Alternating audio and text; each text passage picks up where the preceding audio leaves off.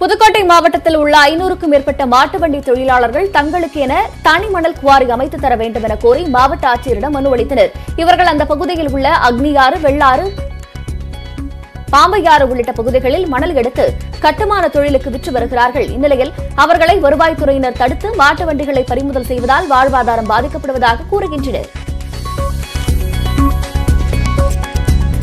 மாவட்டம் பவானிசாகர் வனப்பகுதியில் இருந்து வெளியேறிய ஐநூறுக்கும் மேற்பட்ட யானைகள் தாகம் தணிப்பதற்காக அணையின் பின்புறம் நோக்கி சென்றன. வனக்குட்டைகள் நீரின்றி வறண்டு போன காரணத்தால் வனவிலங்குகள் தண்ணீர் தேடி அலையும் சூழல் ஏற்பட்டுள்ளது.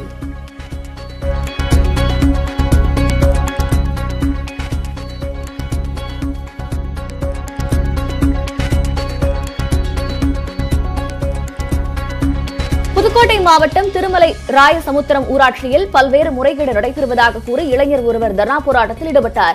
ஊராட்சி ஒன்றிய அலுவலகம் முன்பு போராட்டம் நடத்திய இளைஞர் செல்லதுரை திருமலை ராயசமுத்திரம் ஊராட்சியின் வரவு செலவு கணக்குகளை தகவல் அறியும் உரிமைச் சட்டத்தின் கீழ் சம்பந்தப்பட்ட அதிகாரிகளிடம் கேட்டும் முறையான பதிலளிக்காமல் காலம் தாழ்த்துவதாக குற்றம் சாட்டினார். ஈரோடு மாவட்டம் பெருந்துறை அருகே மனைவிக்கு முட்டையெடுத்து வீட்டில் அடைத்து வைத்து சித்திரவதை செய்த கணவரிடம் போலீசார் விசாரணை மேற்கொண்டனர். திருவாச்சி கிராமத்தில் கலையரசு என்பவர் மீது சந்தேகமடைந்த அவருடைய கணவர் வீட்டில் அடைத்து வைத்து சித்திரவதை செய்வதாக சமூக நலத்துறைக்கு தகவல் கிடைத்துள்ளது. அவருடைய வீட்டிற்கு சென்ற அதிகாரிகள் பெண்ணை மீட்டு காவல் நிலையத்திற்கு கொண்டு சென்றபோது பெண்ணின் கணவர் தமிழ்வாணன் அவர்களுடன் வாக்குவாதத்தில் ஈடுபட்டிருக்கிறார். தகவல் அறிந்து சம்பவ இடத்திற்கு வந்த போலீசார் பாதிக்கப்பட்ட பெண் அவருடைய கணவர் மற்றும் சமூக நலத்துறை அதிகாரிகளை காவல் நிலையம் அழைத்துச் சென்று விசாரணை மேற்கொண்டு வருகின்றனர். ஈரோட்டில் மாற்றுத்திறனாளி இரட்டையர் கொரோனா நிவாரண நிதிக்கு தங்களுடைய உண்டியல் சேமிப்பை வழங்கியுள்ளனர். ஈரோடு பிஷப் ரோடு பகுதியைச் சேர்ந்த பெர்னஸ் அலி மற்றும் பஷீர் ஷா நிஷா ஆகியவர்கள் புத்தகங்களை வாங்குவதற்காக உண்டிகளில் பணம் சேமித்து வைத்திருக்கிறார்கள். தற்போது கொரோனா தாக்கம் காரணமாக முதலமைச்சர் நிவாரண நிதிக்கு தங்களுடைய உண்டியல் சேமிப்பான நான்காயிரத்து முன்னூற்று தொன்னூற்றி இரண்டு ரூபாயை மாவட்ட ஆட்சியரிடம் வழங்கினர்.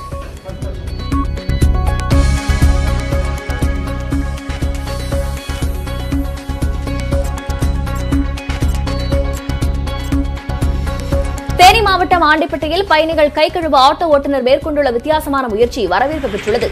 ஆண்டிப்பட்டியில் ஆட்டோ ஓட்டி வரும் மல்லிகா அர்ஜுனன் என்பவர் சவாரிக்கு வரும் பயணிகள் கை கழுவும் வகையில் ஆட்டோ மீது குடத்தை வைத்து அதில் பைப் அமைத்திருக்கிறார். ஆட்டோவில் ஏற முன்னால் சோப்பாயில் வா- வழங்கி கைகளை கழுவ அறிவுறுத்துகிறார். பயணிகள் பாதுகாப்பை கருத்தில் கொண்டு ஆட்டோ ஓட்டுநர் செய்துள்ள முயற்சியை பலரும் பாராட்டி வருகின்றனர்.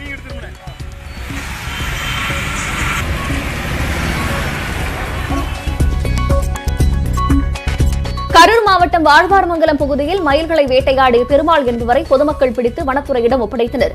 துப்பாக்கி சத்தம் கேட்டு இவரை ஊர் மக்கள் சுற்றி வளைத்து பிடித்திருக்கிறார்கள். மேலும் இவருடன் வந்த இரண்டு பேர் தப்பி ஓடிய நிலையில் அவர்கள் எடுத்து வந்த வாகனமும் பறிமுதல் செய்யப்பட்டது. பெருமாள் சிறையில் அடைக்கப்பட்ட நிலையில் தப்பி ஓடி இருவர் தேடப்பட்டு வருகின்றனர். அறந்தாங்கி அருகே சேந்தன்குடி பகுதியில் இயற்கை வளம் காக்க இளைஞர்களால் குறுங்காடு அமைக்கப்படுகிறது. கஜா புயல் பாதிப்புக்கு பிறகு தஞ்சாவூர் மாவட்டம் பேராவூரணி ஒட்டங்காடு உள்ளிட்ட இடங்களில் இவர்கள் குறுங்காடு அமைத்தனர். இதன் தொடர்ச்சியாக கொரோனா அச்சுறுத்தலுக்கு இடையிலும் சேந்தன்குடியில் இந்த இளைஞர்கள் புங்கை வேம்பு உள்ளிட்ட மரக்கன்றுகளை நட்டு குறுங்காடு அமைக்க முயற்சியில் ஈடுபட்டது. அந்த பகுதி மக்களை பாராட்டடை செய்துள்ளது.